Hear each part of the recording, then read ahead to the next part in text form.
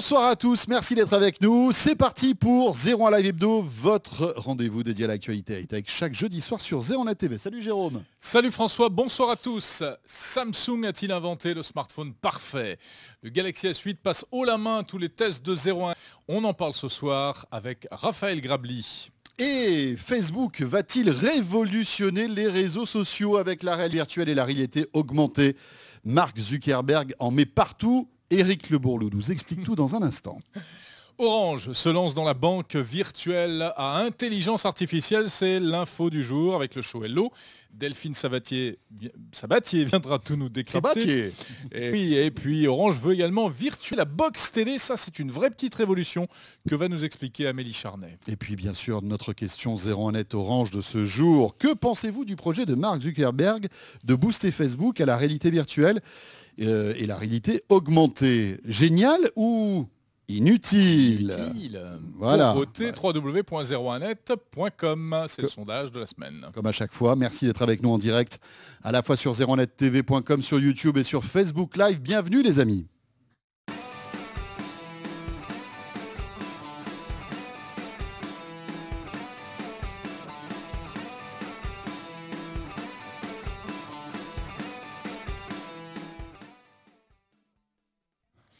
Et comme d'habitude, cette émission est interactive. Oui, elle est interactive grâce au Minitel, les amis. Oui, et au fax joli, ce mot des hein années 80. Oui. Interactive. Vous pouvez réagir par fax au 0803. non, plus sérieusement.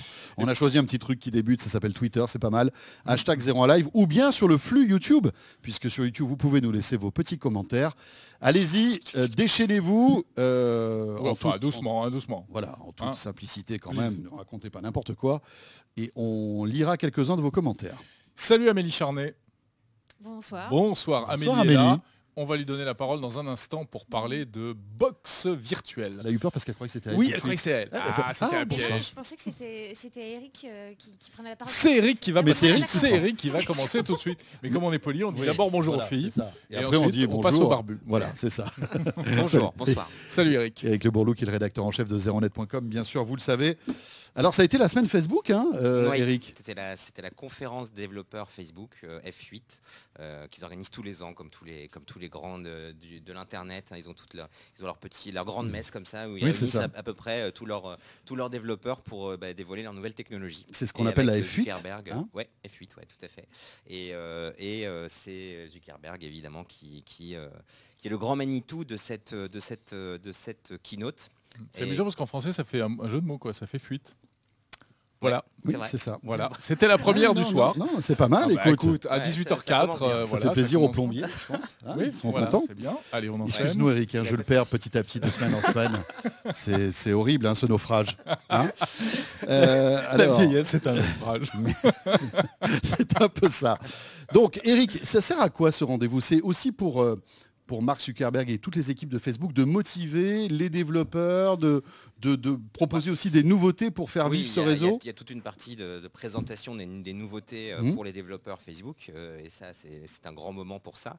Mais il y a aussi dans cette conférence plein d'ateliers où euh, les développeurs qui sont inscrits peuvent assister à des démonstrations techniques sur comment mieux utiliser des technologies mises en place par Facebook, etc. etc. Donc c'est un, rendez-vous très technique, mais qui a aussi une, grande vocation de communication, puisque c'est un, un event où on voit le grand patron qui s'exprime voilà, quand dans, une, keynote, hein, comme ont hmm. pu les faire d'autres qu'on connaît bien.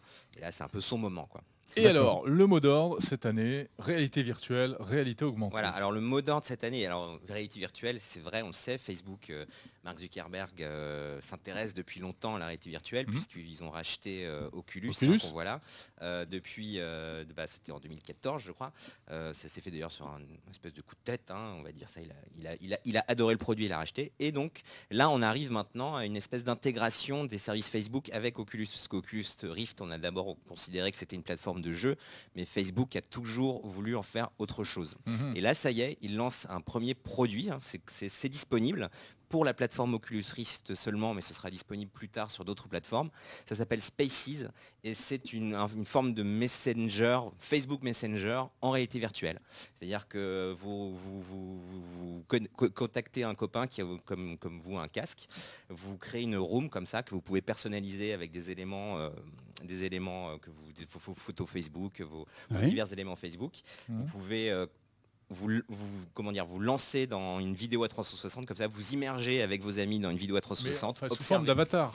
Vous êtes un avatar, oui. Ils sont un peu, en plus, sont un peu basiques comme Oui, ça fait, ça fait un peu penser aux avatars de, la Xbox euh, de Microsoft. Je sais pas si vous voyez ce que je veux dire. Les Mi un peu de, Ouais, ils sont un peu mieux faits que les Mi, mais euh, c'est vrai que mais mais mais c'est une, vision. Euh, par contre, c'est des avatars qui sont quand même très réactifs à, vos mouvements en fonction des mouvements que vous avez avec les manettes de l'Oculus Rift et aussi à vos à vos à ce que vous racontez, puisque quand mhm. vous parlez, l'avatar, bah, ah, il, bouge les lèvres. Il bouge les lèvres et donc votre ami virtuel vous voit parler avec votre véritable voix. Euh, alors ça, c'est un premier produit de la VR chez Facebook.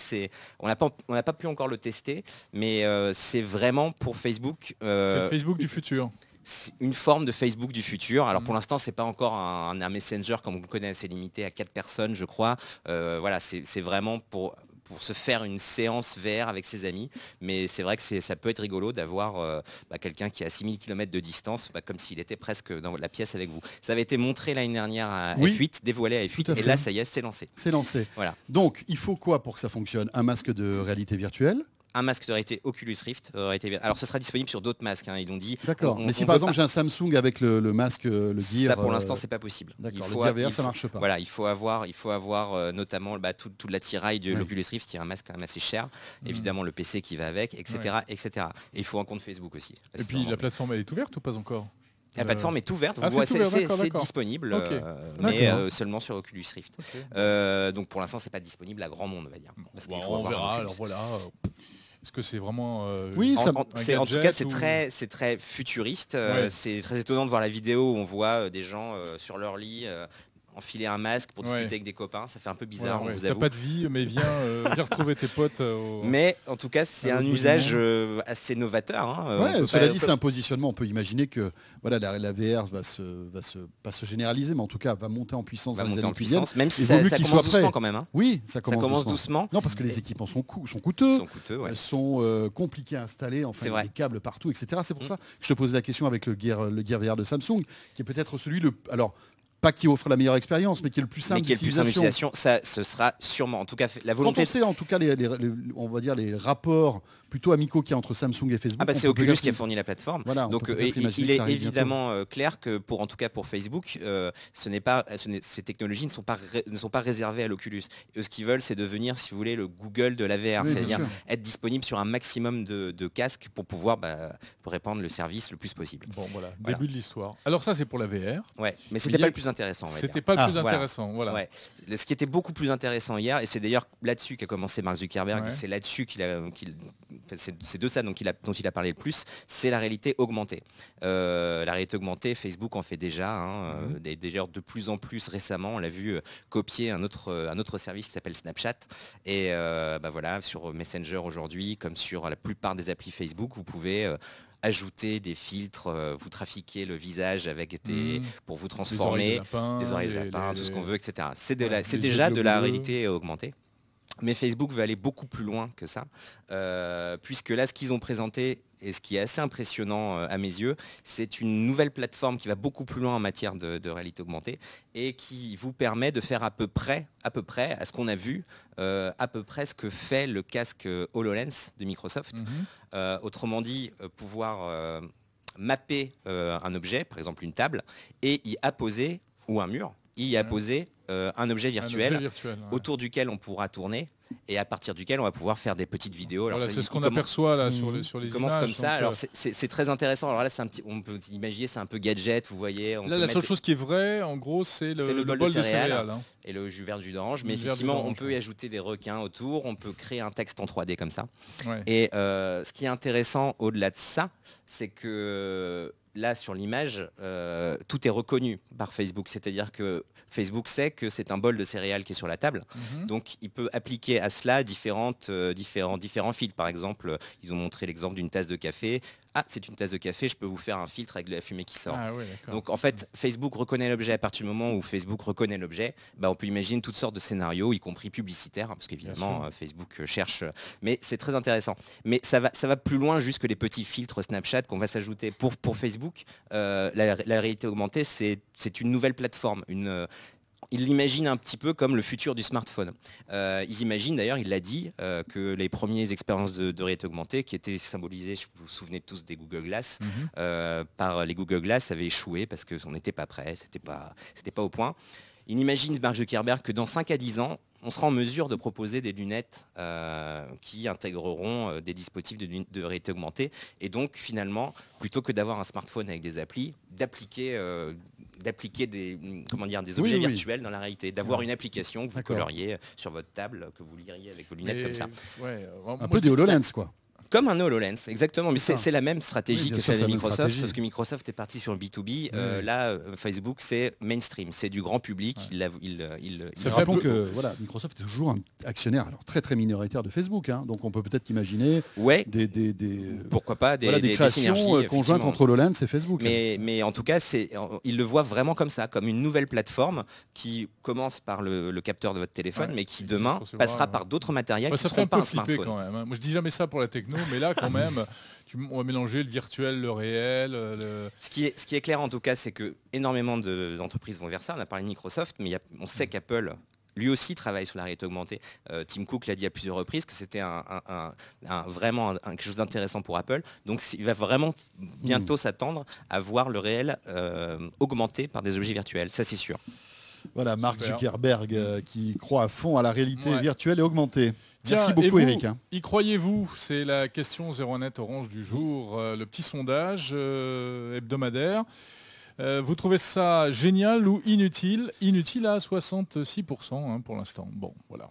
Bon, continuez à voter. N'hésitez pas, www.01net.com et 01nettv.com. Encore merci Eric Le Bourlou. Merci, Eric Le Bourlou. en chef de 01net. 18h12, on enchaîne avec Amélie Charmet maintenant et on va parler d'un rendez-vous où on était ce matin, que vous avez mhm. pu vivre euh, sur 01net TV avec euh, même cette, euh, cette, cet objet exclusif hein, qu'on vous a présenté en avant-première ce matin, qui était Jingo.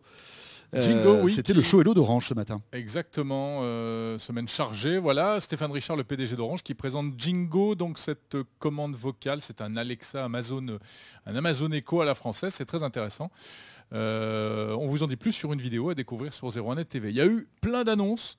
Il y a également cette annonce très importante concernant la banque, François. Et oui, ça y est, Orange, opérateur télécom, devient aussi une banque, une vraie banque. Exactement. Vous allez pouvoir donc créer un compte euh, et euh, de manière toute simple et complètement dématérialisée, puisqu'en fait la banque c'est votre mobile, vous allez pouvoir avoir une carte bancaire, mais aussi payer avec votre euh, mobile, aussi bien iPhone que euh, Android, hein, Jérôme. On va en parler en détail dans un instant avec la chronique de Delphine Sabatier qui va tout nous expliquer. Et puis, troisième annonce, parce que vraiment il y en avait plein, euh, qui nous a vraiment intéressé, c'est euh, cette idée d'Orange de virtualiser la box, en tout cas une partie de la box qu'on a à la maison, la partie box télé. Et ça fait peur, hein, dit comme ça. Ouais, ça fait peur que ça, veut dire. Bah, écoutez, Stéphane Richard, ce qu'il en dit, ce qu'il nous en a dit ce matin. C'est très simple. Jusqu'à maintenant, depuis 20 ans, on a des boîtes à la maison qui permettent de faire deux choses. D'une part, d'assurer la connexion, le Wi-Fi à la maison, et d'autre part, d'installer une puissance de calcul et de stockage euh, dans les médias. C'est le décodeur, le décodeur TV. Et ce qui va arriver dans le futur, c'est que on va euh, supprimer cette boîte, cette deuxième boîte là, donc on n'en aura plus qu'une, qui ne fera qu'une seule chose, qui le fera mieux d'ailleurs, qui sera vraiment d'assurer la connexion, la connectivité, la plus intelligente possible avec, euh, j'en ai parlé aussi, euh, une intelligence logicielle qui permettra de faire vraiment une adaptation aux besoins de chaque utilisateur, chaque euh, terminal. Et tout le reste, ça va être déplacé dans le réseau. Voilà Stéphane Richard qui répondait à nos questions ce matin pour un live exceptionnel. Hein, pendant 30 minutes, Stéphane Richard répondait à nos questions. Et vous pouvez retrouver ce live, bien sûr, sur 01nettv.com. Alors, ces, box virtualisées, Amélie Charnet a tout noté. Jérôme, elle connaît tout par cœur. Alors, qu'est-ce que ça veut dire ça, Amélie? Donc la prochaine box sera une non-box en fait. Oui, alors c'était un petit scoop hein, que vous avez eu. Il a, il, a, il a quand même dit que ça serait d'ici 3 à 5 ans. oui, c'est vrai. Ça, c'est exclusif. Il, a dit chez nous. Donc, euh, bah, l'idée, c'est que la dernière box d'Orange, c'est celle qui est sortie l'année dernière. Voilà, c'est l'ultime box d'Orange. Euh, ce qui va rester, c'est le boîtier qui assure euh, la connectivité. Oui, parce qu'aujourd'hui, en fait, il y a deux box, on est d'accord. Il y a une hmm. box qui est connectée à la fibre ou à la Ça, c'est le cas pour toutes, les Celle-là restera, elle sera hmm. toujours là, puisqu'il faut un endroit bien, bien sûr pour avoir de, l'Internet. Mais la deuxième box qui est sous la télé, elle, Voilà, le boîtier, le décodeur TV va disparaître.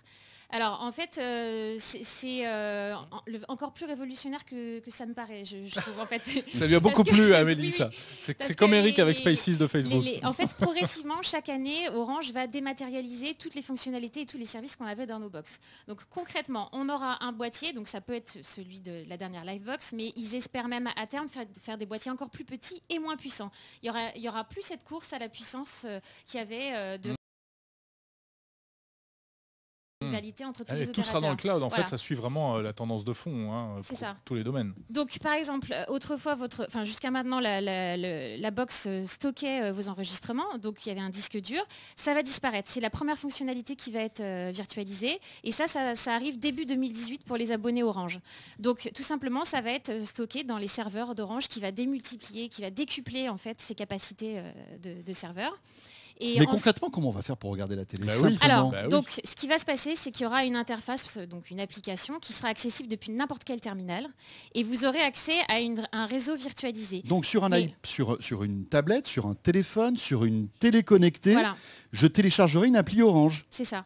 Et elle va vous permettre pas seulement d'avoir accès à tous vos appareils chez vous, mais aussi, si vous le souhaitez, d'avoir accès à tous les appareils. Euh, peut-être que vous avez des parents âgés qui ne maîtrisent pas bien leur box, donc à ces appareils-là, euh, de partager euh, vos appareils avec vos cousins qui sont à l'autre bout de la France, et vous, pourrez leur fournir vos séries télé préférées que vous aurez, ou même vos photos de famille. Tout sera, sera, très encadré au niveau droit de diffusion, etc. ce que je veux dire, c'est que vous allez pouvoir pousser du contenu. Par exemple, vous rentrez de vacances, vous voulez ah faire un petit diapo photo ou un petit diapo vidéo avec toute votre famille qui est dans des coins dispersés dans la France, et eh ben vous pouvez le faire tous en même temps.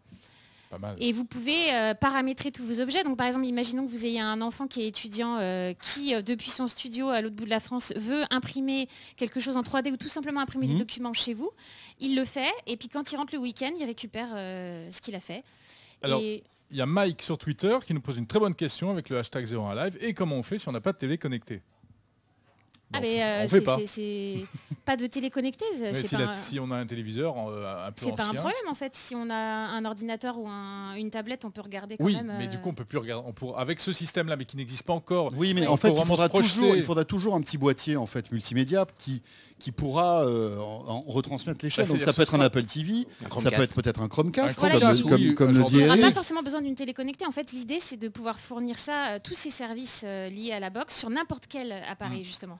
C'est justement de Mais là, on parlait de la télé. On parlait de la télé. Oui, la télé, télé qui n'est pas connectée, qu'est-ce que j'aurai? Est-ce que Alors, je pense qu'il existera aussi toujours des clients un peu particuliers qui recevront une box, parce que Orange va pas arrêter du jour au lendemain de donner toutes les ces box. Mais petit à petit, en fait, il y aura de moins en moins de box. Mais ceux qui ont une vieille télé, si on a une télé connectée, on n'aura plus besoin de box. Voilà, exactement. tout à fait. de toute façon, on parle de choses. ça dépendra des programmes aussi, euh, parce qu'en fait, par exemple, tout ce qui est diffusion en direct, justement, on voit du foot ça va être très compliqué euh, de pouvoir le faire passer en OTT. Donc ce genre de programme euh, de grande écoute à diffuser en direct parce que les gens vont vouloir avoir le but à la seconde où il, eh est fait, euh, ça l'OTT ne peut pas fournir de simultanéité encore aujourd'hui. Mais à terme, ça sera le cas. Ça, marchera. Donc c'est pour ça qu'Orange investit dans des serveurs. ils vont doubler, voilà, ils data les investissements des serveurs, etc. Il va y avoir aussi un, impact bénéfique a priori écologique parce qu'il n'y aura plus besoin voilà, de renouveler tous les 3-4 ans ces box, de, ah, fournir ces boîtiers, de les commander hein. en série énorme. Euh, et ça leur coûtera moins cher aussi. parce que ces box, c'est eux qui les payent. Donc là, ils feront des mm. économies quand même assez importantes. Alors on parle d'Orange, mais, tous les opérateurs vont y venir, hein, Amélie. En fait, précédemment, euh, Bouygues Télécom avait annoncé qu'ils travaillaient sur ce projet. Visiblement, ils sont un tout petit peu moins avancés. Et puis, euh, en fait, Xavier Niel, il y a déjà très très... Dès le début des années 2010, avait c'était à notre micro aussi. Il nous avait dit que bientôt, il n'y aurait plus de box. Mais malgré tout, Xavier Niel, s'il nous écoute, bon, elle est où votre box Mais c'est justement pour ça qu'elle n'est pas encore là. Parce que on en a beaucoup parlé ensemble. C'est vrai que si Free peut, aussi sur ce terrain jouer un coup. D'accord. je sais pas, moi je n'ai pas d'informations. Alors peut-être que la nouvelle Freebox ne sera pas une, une box. Moi j'imagine dans cette histoire de virtualisation que ça va, ça va, ça peut tout changer pour, pour évidemment pour, pour les opérateurs. On peut imaginer par exemple une fois que vous avez une box virtualisée comme ça, de nouveaux services à gogo est très facilement déployable. C'est ça que je voulais dire en fait. Ce qu'on n'a pas évoqué, c'est l'ultra personnalisation, c'est-à-dire que juste un petit mot sur euh, avant, si vous étiez fan de pêche euh, à la carte ou je ne sais pas quoi, vous ne pouviez pas euh, dans les bouquets qui étaient fournis par les opérateurs, vous aviez les chaînes que tout le monde avait. Mm. Maintenant, vous allez cocher une case et vous allez dire voilà, bah moi je veux, je suis fan de cuisine végane, et ben je veux y avoir accès pendant un jour, une semaine, deux mois, voilà. et si vous, vous savez vous partez en vacances, vous avez du temps, et ben je vais je vais me souscrire un, un abonnement à, du mm. cloud gaming et je vais le faire juste pendant deux mois. Voilà, donc ça, ça va être à la plus carte. de liberté. Plus de liberté, de souplesse, euh, voilà. Ouais, dernière remarque, vite fait, Matou qui nous dit il faudra quand même la fibre et ça, effectivement, bien sûr, il ah faudra du gros débit. Hein.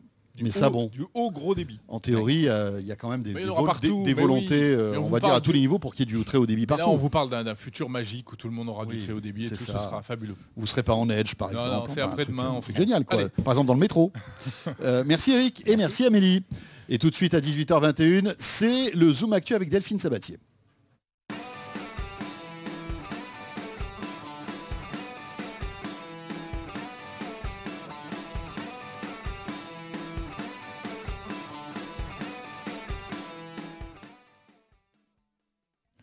Bon, bah alors c'est vrai que c'est grosse actu orange hein, quand même aujourd'hui, ah oui. avec ce show Hello. Ce show Hello, c'est vrai.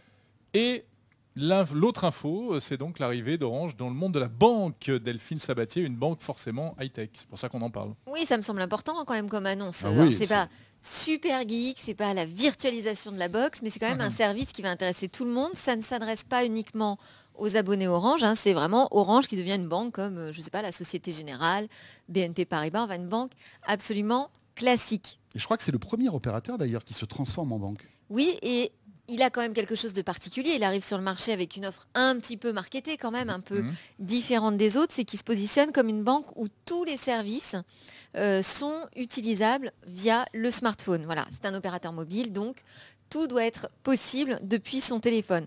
Alors, on a quand même un peu challengé euh, ces, ces, usages. C'est pas vrai forcément à 100%. Par exemple, effectivement, on peut euh, ouvrir son compte, faire pas mal de démarches depuis le smartphone, simplement en envoyant des photos, remplissant des formulaires en ligne. Mhm. Ça, ok. Après, ça, d'autres banques le font déjà peu, peu ou prou. Hein. Voilà. Si je veux m'en servir euh, comme d'un mode d'achat, euh, là, eh bien, effectivement, je peux soit payer avec ma carte comme une carte bancaire commune, donc ma OB, hein, ma Orange carte euh, de Orange Bank, soit je peux utiliser donc mon mobile. Mais là, il y a quand même une limite. Donc on, est, on a un plafond, c'est euh, maximum 300 euros euh, par achat. C'est-à-dire que je ne peux pas acheter un objet plus cher que 300 euros. Ah, quand on paye avec le téléphone Quand on paye avec le téléphone. Et on est aussi limité par mois. Là, c'est 600 euros par mois maximum. Donc ça veut dire qu'on ne pourra quand même pas toujours tout faire avec son smartphone. Oui, la prochaine Tesla de Jérôme, il pourra pas l'acheter avec son téléphone. Ce ne sera pas possible. Toi, je sais pas comment tu vas faire. Enfin, je sais pas. après, j'ai posé la question au, directeur euh, d'Orange Bank pour savoir pourquoi on avait ces limites. Il n'a pas été vraiment capable de me répondre.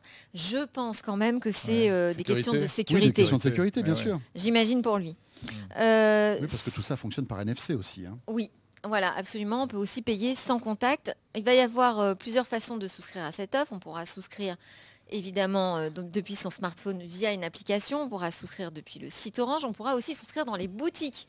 Là où vous faites la queue parce que votre Livebox, votre smartphone ne fonctionne pas, eh bien vous pourrez aller voir aussi maintenant un conseiller. Il va y avoir euh, dans un premier temps 140 boutiques les plus grandes. Hein. Euh, qui vont permettre de s'abonner à la banque. Mmh. Il y aura un petit corner quand même euh, un peu confidentiel parce que ce n'est pas forcément des informations qu'on a envie de partager avec euh, l'ensemble des visiteurs. et il y aura au minimum, on m'a garanti, quatre conseillers pour répondre à vos questions d'ordre financier. Mmh. Stéphane Richard parle d'une banque qui va apprendre, une banque apprenante. Donc ça, c'est vraiment, je crois, l'idée qu'il a voulu faire passer aujourd'hui c'est l'enrichissement de ses services en permanence avec de l'intelligence artificielle. Et là, il fait appel à IBM Watson. Donc on aura euh, comme conseiller bancaire un robot, euh, pas des moindres hein, quand même. Watson est assez réputé pour ses qualités. Malheureusement, on a voulu un peu le, tester lui aussi euh, ce matin. Alors on n'avait pas le droit de lui poser nous des questions. Hein. Il y avait seulement les démonstrateurs qui pouvaient l'interroger. Et pour l'instant, la démonstration se fait uniquement par texte. C'est-à-dire qu'on ne pourra pas l'interroger en commande vocale. Mhm. Voilà, c'est vraiment quelque chose qui va être déployé progressivement. L'ouverture de cette banque pour tout le monde, c'est le 6 juillet. Au début, on ne va pas avoir l'ensemble mhm. de ce qui nous a été vendu ce matin qui sera disponible. Il faudra notamment pas les crédits, hein. les crédits à la consommation, les crédits immobiliers arriveront plus tard. Voilà, là on aura vraiment les services basiques euh, autour du compte bancaire. 100% gratuit, oui mais. Ah. Quand même. Parce que euh, Stéphane Richard nous a dit que c'était vraiment gratuit. Hein. On lui a posé la question ce matin. C'est vrai que c'est 100% Après, gratuit. si tu as des découvertes, tu payes des agios, mais ça c'est dans toutes les banques. Hein. Si mais vous il faut malgré tout qu'il y ait un trafic sur le compte. Si vous utilisez votre carte bancaire dans le mois, s'il n'y a ah. aucune activité, si vous n'avez réalisé aucun achat avec votre carte Orange, eh bien dans ce cas-là, on, va, on vous va vous facturer des frais de gestion de compte. De 5 euros, je crois. De 5 euros, exactement. Et il faut hmm. quand même avoir trois utilisations dans le mois pour euh, être considéré comme un compte euh, actif. Voilà, c'est euh, le petit. Euh, on peut imaginer que si on, si on souscrit à un compte comme ça, c'est pour s'en servir. donc, euh, finalement, les trois, les, trois transactions dans le mois, c'est pas énorme. A priori, il n'y a pas de condition de ressources non plus pour ouvrir un compte. bon. Après, c'est des services assez classiques finalement par rapport aux banques en ligne. Oui, oui, oui. Euh, oui, bien sûr. Et puis ils ont pris des choses qui existaient un peu à droite à gauche, comme la possibilité de s'envoyer de l'argent de particulier à particulier, etc. Il n'y aura a priori pas d'avantage de, pour les abonnés Orange et non abonnés Orange, sauf si euh, on trouve des offres commerciales croisées. Et là, ça va arriver à la rentrée. Voilà. Une question de Lucien qui nous demande à partir de quand euh, peut-on créer? Donc quand, si c'est la date, c'est le 6 juillet. 6 juillet. Quand ça peut être aussi à partir de quel âge? euh, il y a un âge minimal eh ben J'ai pas posé la question, mais je pense qu'effectivement, il faut... Euh, Alors, nous, on l'a posé ce matin. On avait posé la question à Stéphane Et c'est comme une banque normale. Et si on a moins de 18 ans, à partir du moment où on a l'autorisation des parents, il y a une carte jeune. Voilà, on peut souscrire un compte euh, en banque. Et ce qu'il y a de bien aussi, c'est que si on est étudiant, on n'a pas besoin d'avoir un, minimum de revenus. Parce que souvent, quand on est étudiant, on n'a pas d'argent et les banques ne veulent pas de vous. Et eh bien là, Orange. Euh, même pour les adultes, hein, il n'y a pas de condition de revenus pour ouvrir le compte. C'est clairement une banque pour les, pour les millennials. Exactement. Merci beaucoup Delphine. Merci. Pour ce zoom actu concernant Orange Bank. On passe, là là qu'on est en retard. On passe, on est hyper en retard et on passe à l'événement. Il y a plein d'événements. Euh, l'événement hardware du mois. Ou même, euh, même plus que ça. Peut-être plus que ça, oui. De l'année probablement. Le Galaxy S8.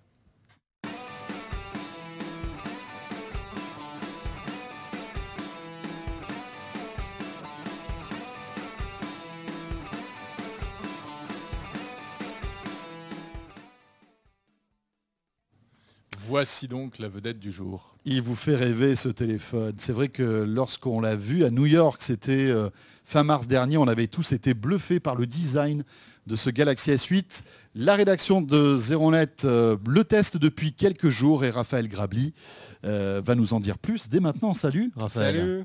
Salut Bonsoir Raphaël. Bonsoir. Alors ça y est, ils sont arrivés à la rédac. Ils sont arrivés à la rédac, on les a testés. et, alors on dit les parce qu'il y en a deux. Oui, il y en a deux. Il y a le S8 et le S8 Plus. Et euh, le test du S8 euh, est en ligne depuis quelques minutes. Oui, aïe, aïe, aïe, les amis Sur le site, sur. Non, mais restez, vous irez le voir. Oui, alors on va en parler quand même un petit peu maintenant. Oui, voilà, voilà. Après, vous pourrez le lire tranquillement. Et la petite vidéo qui va bien, qui arrive dans la foulée. Très hein. rapidement. Lequel vous préférez, vous, entre le grand et le petit? Personnellement, moi, j'aime bien le S8. L'autre, le S8 Plus, c'est très bien, mais j'aime bien les petits formats. Alors, c'est pas vraiment un petit format, mais le côté compact comme ça, je trouve qu'on le ressent encore mieux sur le S8. Moi, je, moi, enfin, j'aime bien les grands téléphones, j'aime bien le S8 Plus. Mm. Je trouve qu'il est vraiment très très agréable. Alors voilà le test, hein. voilà. on, si on va passer les notes, on, vous le fait défiler. Euh, Alors quoi, il cartonne, euh, bah, il cartonne. partout bah, les précommandes, ça cartonne, mais bon, après les précommandes, c'est toujours pareil. Hein. c'est les gens qui sont fans de Samsung. Euh, donc on se doutait qu'il serait là. non, non, mais je veux dire au niveau, au niveau des tests. et, au niveau, et au niveau des tests, oui, il a cartonné. En fait, euh, on va peut-être pas trop tuer le suspense, mais euh, on peut quand même résumer en disant qu'il a eu 5 étoiles sur 5, c'est-à-dire qu'il est juste top. Samsung était quand même très attendu, mhm. attendu au tournant, notamment évidemment après le Note 7. Samsung a juste cartonné, a fait les choses comme il fallait et a surtout innové. En fait, la principale information, c'est quelque chose qu'on avait déjà perçu euh, quand on l'avait pris en main, c'est l'écran. qui est, et le design en général. En fait, je pense que là, Samsung, c'est peut-être une première. Samsung a battu vraiment Apple en termes de design. Euh, et a changé peut-être ce qu'on peut appeler le facteur de forme du smartphone mhm. et a changé ce à quoi vont ressembler les smartphones, je pense, dans les prochaines années. Ça veut dire que l'iPhone pourrait aller sur la même tendance Oui, alors déjà il y a les rumeurs qui font penser ça, mais je pense que, enfin en tout cas, je vois pas comment Apple pourrait faire autrement. Et on voit que d'ailleurs LG a fait un petit peu la même chose, mais au niveau de la finesse, au niveau du format, mhm. c'est très voilà, c'est on a un peu cette impression de feuille de papier sur la main comme ça, c'est très fin, c'est il y a l'ergonomie, moi je la trouve euh, assez exceptionnelle. Il n'y a, plus le problème qu'il y avait sur le S7 Edge, euh, qui était que, enfin moi je trouvais personnellement, on déclenchait trop facilement des fonctions sans le faire exprès, à cause de l'écran courbe. Et moi ça m'a pas gêné du tout. En fait, l'incurvation est assez différente. Elle est plus franche que sur le S7 Edge, comme le Note 7 d'ailleurs. Et donc non, moi j'ai pas eu ce souci là. Corrigé voilà, exactement. Même si bon, de toute façon les fonctions de l'incurvation moi, je trouve qu'elles. Et puis, je crois, j'ai l'impression qu'elles sont même pas mises en avant hein, sur elles le sont pas mises en avant. Elles existent. elles existent. Elles, existent, mais, il faut... mais euh, elles sont pas mises en avant. C'est histoire de raccourcis, etc. Personnellement, je trouve pas ça très utile. Euh, bon, après, elles sont là, elles sont là. Il n'y a pas de, il a pas de souci. Euh, et cette prise en main, justement, dont tu parlais, Jérôme, je pense qu'il y a mm. le côté incurvé derrière qui fait qu'elle est très agréable. Il est plus incurvé à l'arrière, il est symétrique. Et donc vraiment sur la prise en main, et en fait l'impression c'est d'avoir juste un écran dans la main, d'avoir un smartphone oh, dans la main. mais je trouve que c'est un peu cette impression-là. Et Samsung a fait très fort au niveau design. Après, effectivement, il faut que le reste suive. Euh, au niveau de l'interface, moi j'aime beaucoup leur nouveau design. Ils ont fait quelque chose de beaucoup plus épuré sur les applications, sur le design des applis. Il y a des nouvelles euh, gestuelles aussi qui sont très intuitives. Le swipe euh, pour avoir le tiroir d'application. Ça c'est génial. C'est génial. C'est très bête, hein, je veux dire. c'est élémentaire, mais je pense voilà, c'est ce qu'on voit. On passe et puis si, on voit si on continue de, bas vers le haut plusieurs fois, Pierre, donc il suffit de faire déflorer l'écran de bas en haut ou de haut en bas pour faire apparaître le tiroir d'application. En fait, on prend l'habitude, je pense, en 0,3 secondes. C'est hyper intuitif. Euh, on le fait tout de suite, il n'y a, pas de souci. Euh, après, tu as même réorganisé les, widgets au passage. Ah non, non, moi je me, suis, bah, je me suis fait ma petite. Euh, mais ça y est, il t'a tout cassé là. Hein. Ça y est, il a tout bah, démoli. Merci Pierre. Voilà. Là, tu te retrouves avec un iPhone maintenant, donc euh, tout va bien. Tu me rappelleras de ne jamais confier mon téléphone. C'est ça. Bon, il a un problème ce téléphone, c'est comme c'est la petite queue là hein, qu'il faut avoir en permanence. Tu appelles ça comme ça, toi donc Le petit adaptateur, tu veux dire. Voilà. Bah non, parce que c'est du de l'USB-C. Bah oui. Voilà. Eh bah oui, mais si tu dans la journée, si tu veux être sûr de pouvoir le recharger n'importe où, sur n'importe quel chargeur, chez un copain au bureau, dans la voiture. Si... Et parce que tu as encore des amis qui ont l'USB euh, bah, bah, Tu devrais changer d'amis. il, y a beaucoup d'amis, il y a beaucoup d'amis qui ont du Lightning surtout. Ça, c'est... ça suffit. Effectivement, il te faut un, il faut un adaptateur. beaucoup d'amis qui ont du micro USB. Non, mais oui, je suis d'accord, mais enfin l'USB-C, je trouve ah, ça C'est une joke. Franchement, c'est vrai qu'on a du mal à lui trouver un défaut. Alors, il y en a quelques-uns. Ah. Enfin, je continue quand même juste sur les qualités, parce qu'il en a quand même beaucoup. Il y a mhm. l'écran, forcément, ils appellent ça Infinity Display, il fallait que l'écran soit bon. Donc effectivement, l'écran est très très bon. Euh, il est en QHD. Alors par définition, il est en Full HD d'ailleurs. Euh, il est un peu, encore plus fluide en Full HD au niveau de l'autonomie. Ça mhm. change beaucoup de choses. En mhm. fait, l'autonomie, on a remarqué, on l'a testé au labo. Euh, en Full HD, il est, il est, assez bon en endurance. Il a même battu, enfin pas, des records, mais il a fait 12h30. À titre indicatif, l'iPhone 7 était 7 heures. Donc mhm. c'était sensiblement plus important. Par contre, je l'ai utilisé aussi en QHD+. Euh, là donc il y a une super résolution. Voilà, super résolution. Où là en plus j'ai tiré au niveau de la luminosité, j'ai beaucoup utilisé euh, l'appareil en extérieur. Et là l'autonomie baissait forcément. C'est logique. Beaucoup. Après, euh, il tenait la journée. est-ce qu'on voit la différence? Entre le Full HD et, le, QHD. en fait, c'est pour ça, dans le test, c'est ce que j'ai mis. Je recommande juste aux gens de l'utiliser en Full HD. Je vois pas, on voit, je trouve qu'on voit pas la différence. Parce que même on peut se dire, oui, Netflix, maintenant il y a la 4K. mais, il faut savoir que l'appli Netflix qu'il y a sur le Galaxy S8 n'autorise pas les flux 4K. Donc vous, même sur un, enfin ah même si c'était le cas, vous ne pouvez, vous, ne verriez pas la différence parce que sur un écran, voilà, d'une taille aussi petite, ça sert à rien de monter autant en résolution. personnellement, alors j'ai peut-être pas l'œil assez fin, je sais pas, mais je vois pas la différence.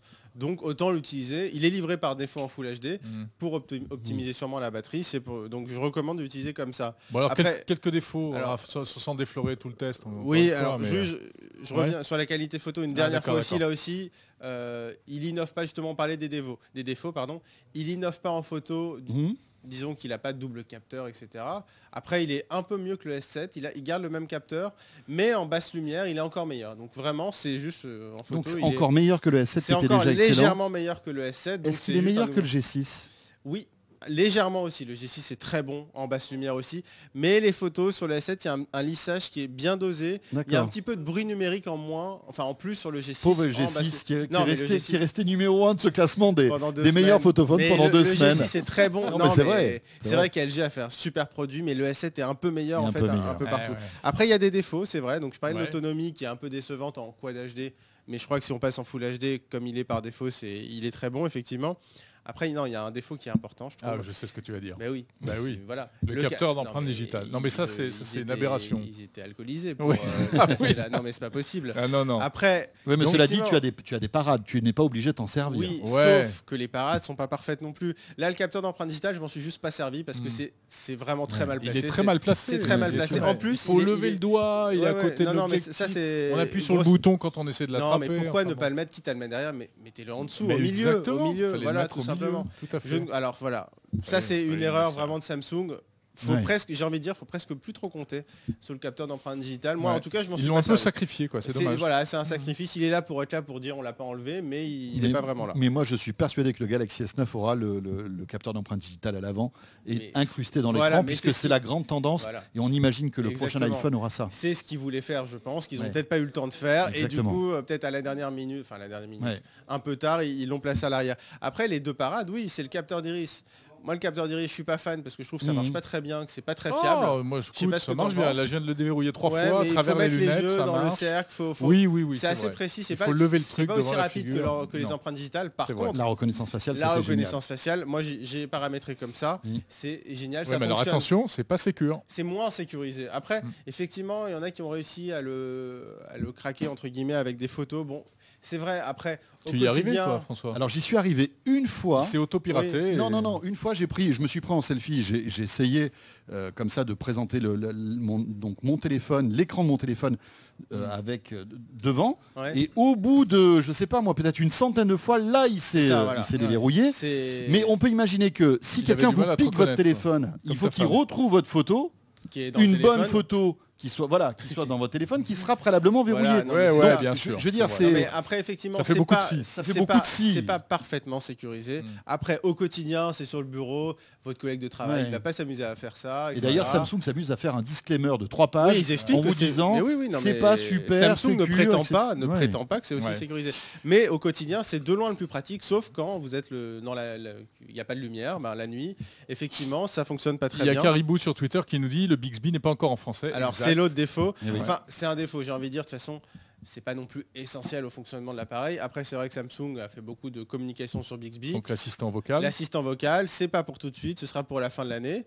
Euh, il y a des petites fonctions Bixby, des résumés du quotidien, un peu à la Google No. Bon, c'est gadget. Etc. je dis assistant vocal d'ailleurs, il n'est pas que vocal, hein. c'est assistant Oui, c'est une intelligence artificielle. La partie IA est déjà présente, mhm. voilà, euh, façon Google No. Il y a une partie Bixby Vision qui va être capable d'analyser un monument. Vous mhm. prenez la Tour Eiffel, il va vous dire que c'est la Tour Eiffel.